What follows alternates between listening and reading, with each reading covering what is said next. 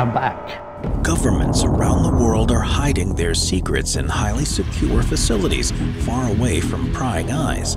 These places have become focal points of conspiracy theorists and those trying to uncover the truth of what our governments are doing behind closed doors.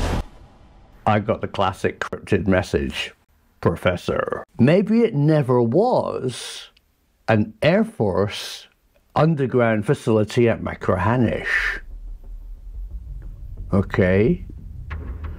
Holy. Got it.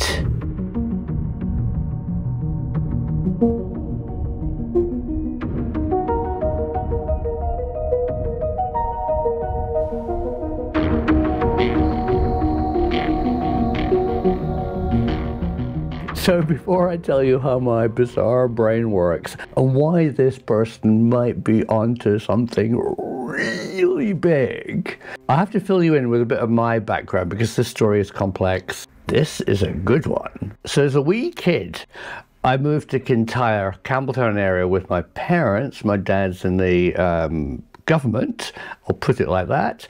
And they wanted to build quite a large house overlooking the sea. Well, they couldn't because there wasn't a local builder or contractor who was available at the time. So we had to rent somewhere temporarily, and we ended up renting a cottage in the village of Machrihanish, right next door to this secret hangar. I know because I got my camera taken off me by the constant security guards who were really not wanting teenage kids looking at what was going on at the through the barbed wire fence at the base. But there's another strange thing. The cottage was built there because it was the headquarters of the coal mine. Coal mine? Why is there a coal mine, Professor, in the Scottish Highlands? Well, people who don't know Scottish geology, Scotland has the southern uplands, the borders, then it has this flat plain where all Edinburgh, Glasgow, and all the heavy industry of Scotland is lots of coal, lots of steel, and then the Highlands. And that central belt is a big valley, a geological area where there's interesting stuff lots of coal. You can follow that Rift Valley out into the west of Scotland, where eventually it dips down under the Atlantic Ocean at Machrihanish. Machrihanish is, of course, north of Northern Ireland, a clear run from Scotland to Newfoundland with nowhere to fly over, and the same with the ocean, but we'll get onto that. Machrihanish was used for transatlantic telecommunication. It's a perfect place not to be interfered with, but it also has coal. It's the last place on this Rift Valley that you can mine coal and there was a national coal board, NCB Colliery, where we lived in the cottage. It had long closed down. It didn't have a shaft. It had a slopy mine with a big conveyor belt. I used to play on it. And uh, miners and horses and things would go down on the conveyor belt or by the steps and work underneath the RAF base and out under the ocean. Now, it closed, it flooded, there was a couple of fires, disasters, and it, it maybe probably wasn't that economic eventually, so it did close down. Uh, there was a wee railway. That, it was great. It, as a kid, it was a great place. A coal mine and a RAF base. I was in heaven. It was really a great place to grow up. And that's why I'm so interested to to know what really was going on there because there were so many mysteries. My dad kind of worked there. He was a liaison between the RAF, the British government, and these Americans who were there. But we'll get on to the Americans in a minute. Anywho, back to the coal mine. The coal mine had lots of geological surveys. You can get in the local library all the strata of what's underneath Machrihanish and out under the sea. It's very well surveyed because it was a mine. Makes sense? Hold that thought so here I am in my old age, still knocking on about Machrihanish, trying to solve some of the secrets, and everybody's telling me that there's a secret underground base underneath Machrihanish, and um, there's no real evidence that there is. Nobody's ever found the entrance, uh, and there's a number of problems with it. as viewers know, I like to ask the big question. And I think one of the big questions about the Machrihanish secret underground base is why do they actually need one? I think the secret hangar, the Gaydon hangar, is enormous. It would fit the shuttle, the it would fit Concorde, Aurora, secret aircraft, SR-71s, whatever was flying in, and they definitely were flying into Machrihanish. I mean, I don't deny that. But why would they need to put them underground? It, I think only they needed to cover them from the weather, terribly windy place, and I think that they needed to be able to refuel them with normal and exotic fuels. And here's the second big question. So we know it was an RAF base. We know it was a diversion airfield. We know that it, because my mates worked on it, surfaced the runway with special stealth paint that also can show up in a diversion emergency with a special NATO goggles in an aircraft so you can easily land. The wind is always predictable. It has something called a VORTAC, a VOR TAC, and it's right down the end of the runway. It's a perfect diversion airfield from everything from space to high Mach number aircraft it definitely was used for that. But let's look at another big picture, and that is there was a contingent of US Navy SEALs, a SEAL team. And for many years they were secret. We knew that were Americans there. We didn't really know what they did. Eventually it came out that, that they were a Navy SEAL team. They did have access to so-called nuclear depth charges. And their possible mission, of course, it's secret, was to somehow patrol the North Atlantic and do commando missions using nukes and non-nukes in that area. And then the plot thickens. So eventually my parents built a house. It was in Campbeltown. It overlooked the POL.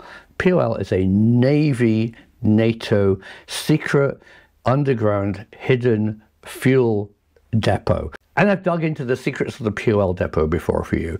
It's mainly bunker fuel, it's mainly Navy fuel for ships. And knowing people who worked there, they said that we had some specials. We had some wee exotic tanks that had stuff for aviation. And as a kid, I used to play behind the depot, and there was a not so secret but secret pipeline that went from the depot with about about 10 inch diameter pipeline that was above the ground, uh, all the way from the depot in Campbeltown, seven miles out to RAF Machrihanish with fuel. And the POL jetty was a Zulu base, one of the very few in Britain that could deal with a nuclear accident. Uh, a submarine or a nuclear powered ship, I guess, but submarine could dock there and they had the way of dealing with a nuclear incident. So it was, a, it was an important place. So what does that all add up to?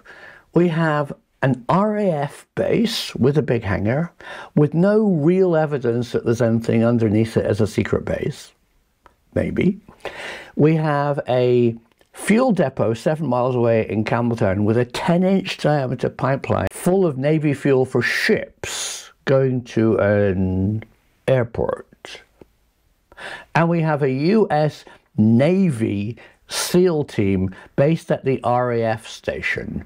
But Machrihanish is on this, Machrihanish Bay. Also geographically wonderful, north of all landmass, open to the Atlantic, very good access to the sea, but no harbour, no jetty, nothing. It's just a sand dunes, a nice golf course, and a beach. How did the SEALs actually deploy?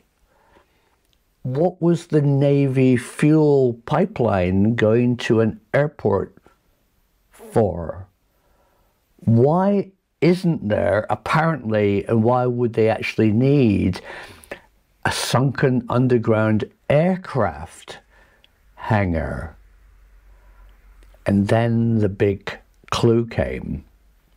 Currently, the airport's been sold on a lease to the Mac Business Park. They have engineering businesses there, they do some filming. Hopefully, it might even open up as a spaceport. You can fly there on a commercial airliner British Airways, Loganair, I don't know who it is these days, up to up to Glasgow, and the Inner Hebrides, the air medical evacuation helicopter can come down from from Glasgow to evacuate you from the Kintyre area. It's a very useful base, but the deal is the Mac business people have it on a lease that can be returned instantly if the military want to reactivate it. The people actually paying for the upkeep of Machrihanish militarily, the runway, the navigation equipment, anything secret, is NATO's US Navy Division North Atlantic. So hang on.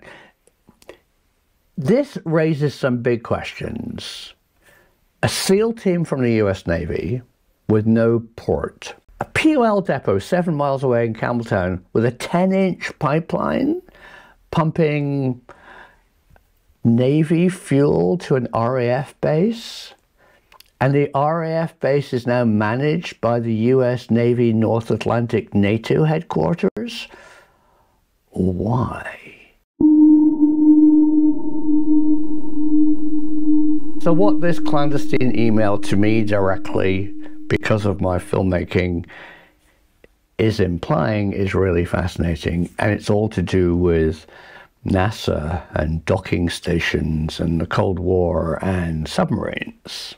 Governments around the world are hiding their secrets in highly secure facilities far away from prying eyes. These places have become focal points of conspiracy theorists and those trying to uncover the truth of what our governments are doing behind closed doors.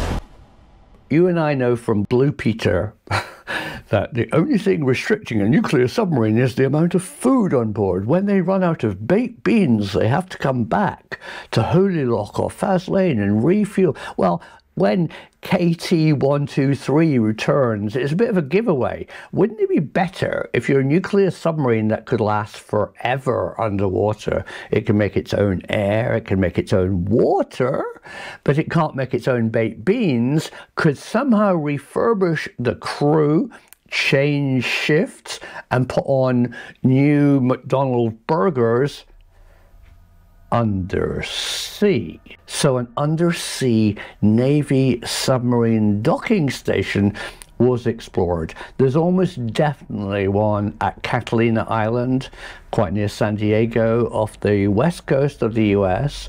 There's also one in Andros, which is the Bahamas, and possibly one in the Canary Islands. And just maybe the secret underground base at Machrihanish was never an RAF aircraft secret base.